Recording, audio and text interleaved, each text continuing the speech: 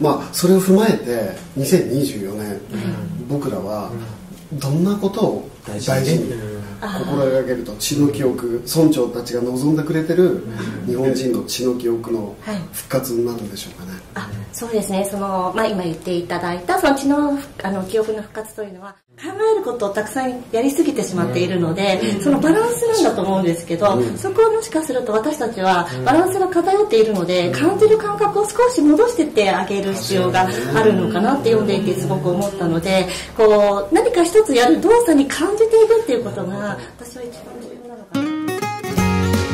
翡翠小太郎とマナユ王子正野ご覧角にはグリーンズ。今日もよろしくお願いします。よろしくお願いします。スペシャルゲストがはい。来てくださってますね、最多出場。そうですね。あの本当に抱っこ状態ですけども。困ったらこの方という感じでもはやレギュラーと呼んでいいんじゃないかと思いますけども、どの方が来てくださってるんでしょうか潜在意識3.0の著者の東堂ひろみさんに今ひ回は。ろみさんよろしくお願いします。急遽ね5分前に決まった出場ですけども。3分前です。3分前ですからね。厳密に言うとちょっと思ってみましたけども、はいどうですか今の心境は？いやもう3分前のオファーね、はい受けるしかないですそうですね。ノーとは言えない空気で。ノーとは言えない空気ありがとうございます。はい今日はちょっとテーマがあるんですよおね。招きして、はい2024年が何を大事にしていければいいのかっていうね、そうですね。迷える子羊の人たちたくさんいらっしゃるかもしれない。救いの一言でね、ちょっとお話ししていただきたいと思うんですけあど。のちなみにね東堂ひろみさん知らない方に向けてね、はい。あの今日誰のために生きるって本あったでしょうがさんの好きヒットのね教著で。であの本っていうのはそのアフリカの文殊村というところで、かつての日本人の生き方が冷凍パックされたかのような、ね。うん。残ってて、それはシャーマンの方たちが代々日本人とつながって、かつての日本人とつながってその生き方がね、冷凍パックされてたような不思議な村なんだよねね、アフリカでね、日本の生き方がね、あったんででね。そのね、村長さんの予言が予言というかシャーマンの予言の中にね、なんとヒロミさん出てくるえの本当に。ー、予言の中に、うんヒロミ東堂が、海外だったらね、逆かなと思って。そう。ヒロミ東堂ヒロミ東堂が、え出てくるんですか？出てくる。え、すごくないですか？どういうことなんですか？そうその正言村長さんがね、はい。まあ、本つくすごくこの本を楽しみにしてくれてたそうなんだけど、その体調をずっと崩されてたんだよね、で本が完成するまでに、まで生きてられるかちょっと難しそうで、で正元さんが、おお前お見舞いにね、どうしても行きたいんだ。って行きたいですよね、それは。えー言った時に村長さんが、今は来ないでくれってあったらしいんですね、へあの今は一人でも多くの日本人に伝えてほしいから、ー来る時間があったら、それを伝える方に伝えてほしい。で日本には、その自分たちがね日本語じゃないとなかなか伝えれなかったことを、日本でその証言に分かりやすくね伝えてくれる女性が2人現れるから、予言されてたそう。なんですよ二人現れ、そのうちの一人が、一人は、その体のことをね、お伝えてらっしゃる女性ですでに証言とは合ってるよって。えでもひろみさんと会った時にすぐに証言さんはあ村長が言ってたのはこの方だって。分かったそうなんだよね。そんなエピソードが、うん。裏裏エピソード。まあ証言さんそのことすぐには僕らにも言ってくれなかった。けどいや実はそのシャーマンの方からねその自分の活動をそのあのアフリカでね教わってたことをより日本語でね分かりやすく伝えてくれる方と2人会うってもうちゃんと1人はもう会ってるしね。もう1人はこれから会う人でね。あのすごいですね。って言われてたそうなんだそんなね、はい。だからまあ結構村長さんともつながりやすいっていうかね、まあ思いをある種託されたという一人ってことです。そそんなのびっくりしちゃうよね。いやもう聞いた時はね40もう代で鳥肌が立って。でまた正元さんがねあの後で詳細をどういうふうな人だと言われていたかっていうことを話してくれた時にまたそこで鳥肌が立つようなそんなに具体的なことを村長さんは言ってらっしゃった。髪型がね。髪型がね。髪型変わるけどね。そうですよ髪型は言われてないんでしょ髪型は言われてけど、爪の形はそう見た目の話じゃないんじゃない見た目も変わるんですよ、爪も形も。そうですね。まあでもその一番はその人体は宇宙って言っている女性、そしてスピリチュアルだけれども地に足をつけていて、とてもわかりやすい言葉であの説明をしてくれている。そしてこう村長とかが伝えているものをまた噛み砕いて、そしてあの落とし込んでくれる。落とし込んでというようなことをまあ簡単に言うとそういうことを証言されてそこまで具体的はい言われてに村長ははいはい。分かってたんですね。でもね。気が引き締まる思いいやもう鳥肌とともにすごくこうちょっとこう逆に言うともううん気が引き締まるというか、うん、責任とかあ自分は何をしていったらいいんだってショックなんですすごくそれを思いましたね。託された思いがやっぱりはい大きい分だけ、そうですね。うんはい。いやいやでもそれは私が託されたのではなくて、結局その私がそれをお伝えすることで皆さん一人一人に託されていることがよく伝わっていたのでそれをきちんとお伝えしていけばいいんだっていうことをはいそうですね。はい。まあ、そういう意味では僕ら、まあ、日本人の血の記憶を呼び覚ますっていうのがあの本のテーマだったんですが、まあ、それを踏まえて2024年、僕らはどんなことを大事に心がけると血の記憶村長たちが望んでくれてる日本人の血の記憶のはい。復活になるんでしょうかね。あそうですね。その、まあ、今言っていただいたその血のあの記憶の復活というのはもう2024年は一言で言うと実践の年。です、はい、であの「今日誰のために生きる」と本もそうですけど、まあ、皆さんがこうお読みになってるの、まあ「今日誰のために生きる」の本であると例えば言葉に温度太陽のを乗せて話す。でそういったこう小さな積み重ねがたくさん大切なことが書かれていて、はい、でそれを日々日常の中で一人一人がそう一つずつやっていくっていうこの実践の年になっていく。だから知識でこう分かったつもりから卒業していくのが2024年。でそれをやっていくと実は皆さんのいわゆる細胞の DNA から呼び起こされて感性がもう一回取り戻していかれることになるんですよね。もう一回今日誰のために生きるを読み直してもらって、できてるかどうかっていう目線で、知ってる最初はね知ってる知らないっていう情報として取っちゃうけど、確かに。改めてできてるかどうかっていう目で、どうやったらにちゃんとできるかっていう目でもう一回よ読み直すといいですね。あそうですね。あそこワークもねたくさんあの翡翠さんのパートでも載せていただいていてでその、まあ、できたかどうかというよりもやはり日々やってみるというやっていくっていうその姿勢がでその人たちが一人でも増えてくるとまさに村長のようにゆっくり味わって食べるとかあ。そうですそうです一番課題ですね。僕たち、僕もそうですけど。朝も比較的早い。比較的早いですよね。ひつりさんが早すぎるから僕はちょっと薄まってるだけで。おかげさまでね、あの、陰でやらせてもらってますけど。目立ってないけどあれ目立ちしてるだけなんで、僕はこっそりやってます。美味しいとね、むさぼっちゃいますよね。言葉にねその体温を乗せるっていうのはそうだね。あそうなんですだから一つ一つ、まあ、丁寧にそうですねだから本当にこう一つの言葉に思いを乗せて本当にハートからそれを乗せて相手に例えば「ありがとう」一言を伝えられてるかどうかそこを自分なりにもう一度こうちょっと立ち返ってもらえるともうそれだけで DNA って深く立ち上がりが起こるので、受け取った方も分かりますもんね。そうですなんか感じますもんね。あだからそれを受け取った方もスイッチが同時にそうですそう開ですそうですくきっかけになるわけですそうおね。互いが共振共鳴を本当に起こしていくのでバーって広がっていくことになると思うんですよね一人一人のお役割は本当に日常の中の生足活の元に、うんはい、足元にあって、実践していく。はい。だからできないことって書いていないんですよね。あの本って逆に言うと、本当にそうですね。シンプルに今までやってきてることでもあるし。あそうですそうです、でもやってきたからこそなんか忘れてしまっているものばかりなのでだからこそ思い出して本当にあの体というところにももう一度意識を向けてもらうという行動ことですね。としてはね、そのあ話すとかはやってるけど、そこにもう一度深めるというか。そうですそうです。マサはあの今日誰のために生きるを読んでもらって、はい。あのーはい改めてこれを忘れてたなとかこれちょっとしっかりやっていこうと思ったことある？やっぱ忘れてたことだらけという感覚もやっぱりありますし、でも忘れてたって感覚も不思議だなと思うんですよね。うん。ってことはやったことを覚えてる、その感覚を覚えてるってことは少し希望だなと思って、ん。忘れられたっていうこともすごい貴重なというかあそのことを知ってる？その感覚を知ってる？その温かさとかを知ってる？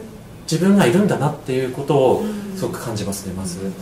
だからそれは思い出すってすごい希望だなと思ったね新しいことじゃないので思い出せる、まあ、日本人だったら DNA っていうものがあるっていうのはなんかすごくそれはなんか話を聞いても読むたびになんかそこに震えますねなんか。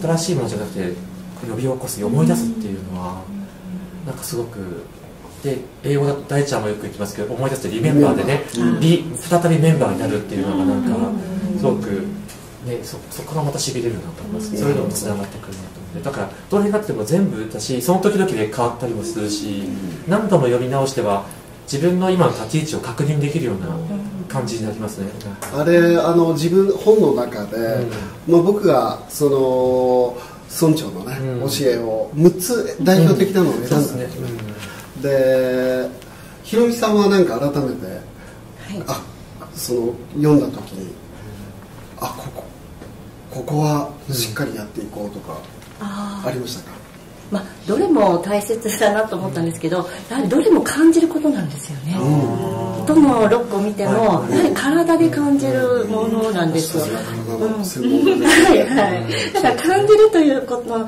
えることをたくさんやりすぎてしまっているので、そのバランスなんだと思うんですけど、そこをもしかすると私たちはバランスが偏っているので、感じる感覚を少し戻してってあげる必要があるのかなって読んでいてすごく思ったのでこう何か一つやる動作に感じていくっていうことが私は一番重要なのかなっていうふうにそれで感性がまた花開いていくのかなと。その感じるっていうのは具体的になんかちょっと例例挙げて教えてもらっていいですか？感じる。例えば、あのまあ、先ほども言ったように例えば言葉に温度を乗せる体温を乗せるっていうのも、発してる方も多分分かると思うんですよね、あったかい気持ちで内側からこうこうでななんて言うんでしょうエネルギーが乗った言葉と、なんかただ「ありがとう」とか言ったら「なんかありがとう」ありがとうとか言っても全然響かないじゃないですか、で受け取った側もすごい心から言われたものって一回ですごく響くと思うんですよね、はい、でそれを感じていくっていうことが一番大事かなと思いますね。はい。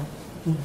感じる、本当に日常の丁寧に暮らしていくというか、一つ一つを味わっていくっていうようなはいはい。感じなんですね、そうですね。だから知識は超えていかないと感じて味わえないじゃないですか。うん。確かに。知識は感じていないので、ですねやっぱ感じるのは今体、今ここにしかないので、だからこそもう一度体を、もう一度感覚を取り戻していくって五感ですよね。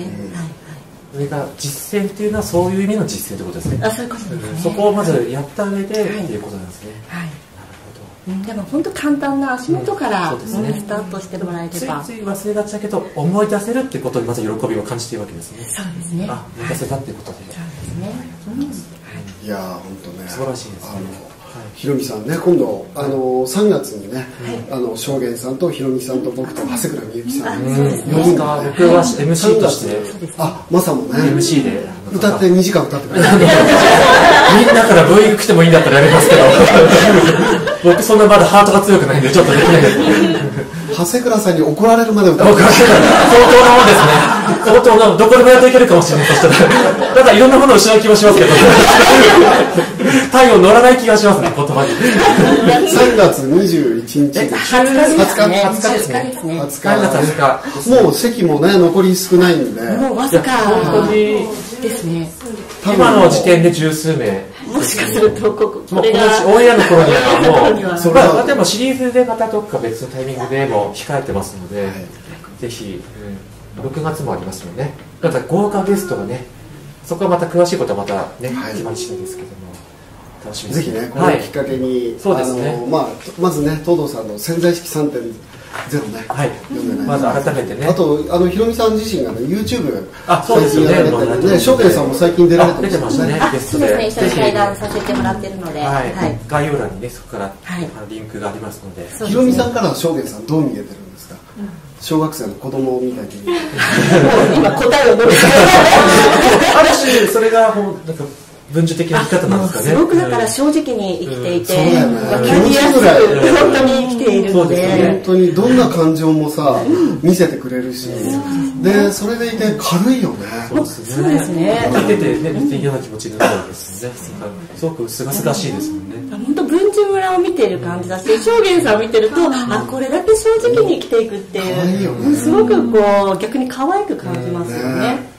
うんああの北海道のねサイキックの M 先生っていう方がいるんですよ。で正元さん見るなり喋ってないんだよ、見るなりね、あの本当に驚いた時ってね、涙って下に流れないんだって、漫画みたいに垂直に飛び出すんだって、だから自分の涙が見れるんだって、そうなんですうん、か、あの正元さんが北海道で僕、はい。そのサイキックのエミ先生とコラボした時に、サプライズで突然現れたの。ね、で突然現れたんだけど、はい。正元さんの瞳があまりにも美しくて、目から涙がと垂直に飛び出して、だから涙が見えるんだって、えだから本当に驚いた時は自分の涙が見れるんだって M 先生も驚かれてた。そんな規模で驚いてたんですねこんなに美しい魂の青年を見たことがない。もう一瞬分かる、読み取れるっていうか感覚でも感じる。ん。です、あすごいですね、まあ、大活躍中ですからね。大活一日ねうん。今ねどれぐらい公演オファーあるか知ってる？分からない。知らない一日ね300件。300毎日毎日300公演以来対応するだけで1週間終わりそうです。なんかもう。全部歌っていきたい。歌いて歌い2時間歌いて300 300件歌いて件正元さんとあの組んで歌うチャンス毎日歌うチャンス。のまず組まれないと思います。ねまずその喜びそれを求められてるんで。あの正元あ太陽を乗せてね。まっすぐまっすぐな人見て断られそうですけどね。毎日 一曲でいいから。俺の一曲長いから。ちょっと説明して2時間あるからって。曲でいいから毎回前座で歌わせてほしいって言った。らもう毎日歌ってられるよ。まずおこまずお断りされると思うんですけどまあでもそんぐらいの気持ちをねそしたら太陽は届くわけですよね。届く太陽なるほど歌えるかどうかわかんないですけど。でもねミュージシャンとしてこれからやっていく増田君には、もう太陽を乗せることだったらできるわけだもんね。そうです。技術は時間まあこととりあえず時間は必要ですから太陽ね。言葉にそう音にねっていうのは。具体的に太陽を乗せる言葉歌に太陽を乗せるのはひろみ先生的にちょっとあのポイントですか？ポイント教えてあげてもらっていいですか？え歌で。歌で。太陽を乗せる。やはりそれだけどれだけ思いが内側から本当に乗っていくかっていうその歌詞の思いを乗せられるかっていうことなんですよね。これカバー曲でも思いを乗せるにはどう。したらいいんですか？先生だからそれやっぱりは重ねていくしかないですね。もうそこの中にやっぱり一つに一体化していくっていうことなんでしょうね。自分と歌のように。まさにその言葉と一つになっていくということなんです歌の中に自分の体験をそうですね。思い浮かべれるように。確かにそれは思いますね。するといいのかもねうん。それをちょっと意識したいと思います。ありがとうございます。すごい真剣な。いやあの真剣なお持ちだとでお金払いますので。一で言先生そのいや先生ではないですけあどのシンガーソングライターとして開花するためにひろみさん一言最後に。あいやもう私すでに多分開花する時にはもう伝えていると思うので。覚えてますよ。それは本当にガラッと流れが変わったので。あ本当。はい。そうですね。もうそれもだから実践だと思いますいつにやる誰とやるそして会場を取る全てそれをもう実践としてそのステージに立つという自分をもう必ずそれを中間地点に持ってきてそのまた先の先の未来を見ていくっていうことを意識していか大島さんに頼むの大島圭介さん。も毎日公演してるから前座で歌わせてあげてほしいそうなんですか大島さんが困困惑しそうですけど、まあ、そこ重いよね。そこはあの思いを乗せていただいて。僕毎日どっか行かなきゃいけなくなっちゃうんですけどありがとうございます。ひろみさんありがとうございます。翡翠小太郎とマナイ王子マサとどうもひろみの。笑う門にはググリーン。リーンスありがとうございました